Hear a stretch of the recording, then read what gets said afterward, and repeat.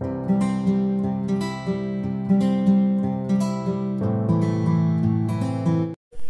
Hi friends welcome back to my channel Sanjana Seth आज मैं आपके साथ ड्रम्स ऑफ़ हेवन कैसे बनाते हैं वो दिखाऊँगी। ऑलरेडी चिकन लॉलीपॉप बनाने का रेसिपी है ही, उसी को अपलिफ्ट करना इस ड्रम्स ऑफ़ हेवन सो अगर आपने चिकन लॉलीपॉप का रेसिपी नहीं देखा है तो वो मैं लिंक कर दूँगी, उसके बाद से कैसे अपलिफ्ट कर सकते हैं। तो यहाँ पे एक मैं पैन बिठा दी हूँ, गर्म होने के लिए। ये काफ़ी गर्म हो गया है, मैं इसमें अभी डाल दूँगी ऑयल ये रिफाइन ऑयल है। पैन में जैसे ऑयल गर्म हो गया है, ऐसे मैं एकदम फाइनली चॉप कर ली ऑनियन यहाँ पे अराउंड अ बोल ऑफ़ ऑनियन है। क्योंकि मैं 500 ग्राम्स ऑफ़ चिकन लॉलीपॉप का वो बना रही हूँ तो इसे मैं डाल दूँगी।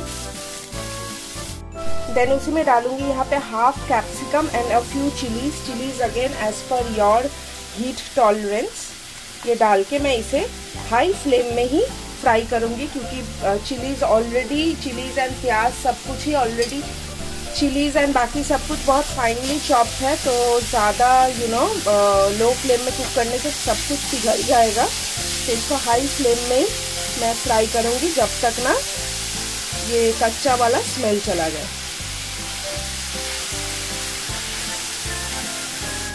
ये देखिए थोड़ा सा बैठ गया है प्याज और कैप्सिकम अभी मैं इसमें around a pod of garlic जिसे मैं बहुत अच्छे से मिन्स कर ली हूँ।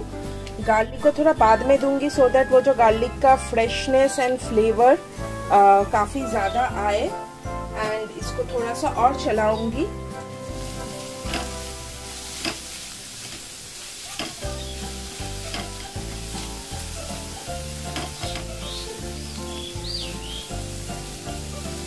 ये देखिए, ये कंटिन्यूसली हाई मीडियम ऐसे करके अभी मैं गार्लिक दी हूँ थोड़ा सा कम कर दूँगी फ्लेम अदरवाइज़ गार्लिक जल जाएगा बहुत जल्दी। इसे और दो मिनट के लिए कुक करूँगी। जब तक उधर ऑनियन फ्राई हो रहा है, मैं तब तक यहाँ पे एक कटोरे में सॉस का प्रिपरेशन कर लेती हूँ। सॉस के लिए मैं यहाँ पे एक चम्मच ऑयल ली हूँ और एक अराउंड टू टीस्पून मैं चिली गार्लिक सॉस डालूँगी। और टीस्पून ऑफ़ सोया सॉस डालूँगी।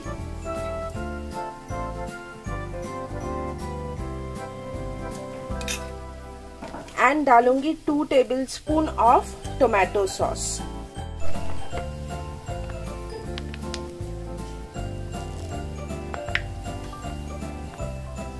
around 2 tablespoon of tomato sauce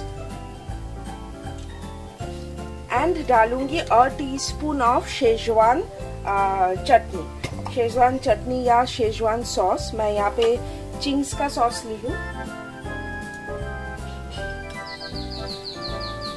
थोड़ा सा हीट या स्पाइस के लिए।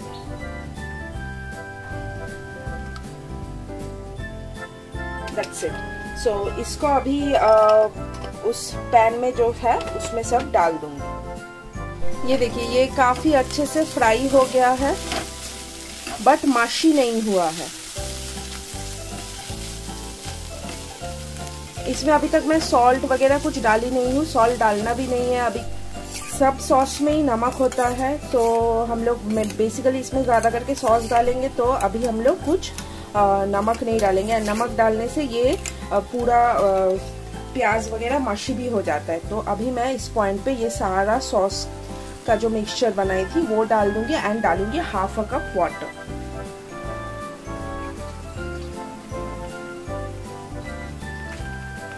and again इसको मैं हाई फ्लेम पे लेके आऊँगी एंड चलाऊँगी.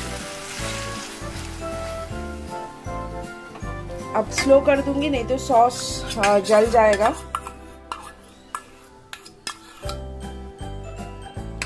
एंड इसको कुक करूँगी जब तक ना ये तेल छोड़ने लगे। लो फ्लेम ये देखिए कैसे तेल निकल आया है इसमें से। And the gravy seems to be done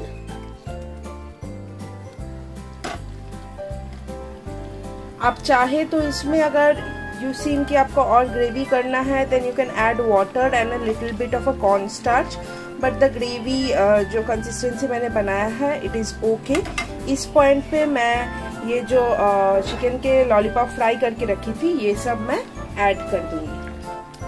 so so that इसके अंदर भी सॉस चला जाए।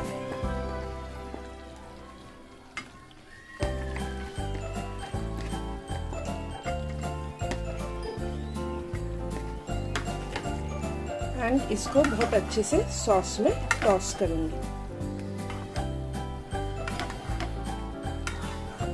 एंड ऊपर से गार्निशिंग के लिए इधर आप you uh, know you know, थोड़ा सा स्प्रिंग ऑनियन डाल सकते हैं या फिर सेसमी सीड ये देखिए ये सब कुछ कितने अच्छे से सॉस में समा गया है।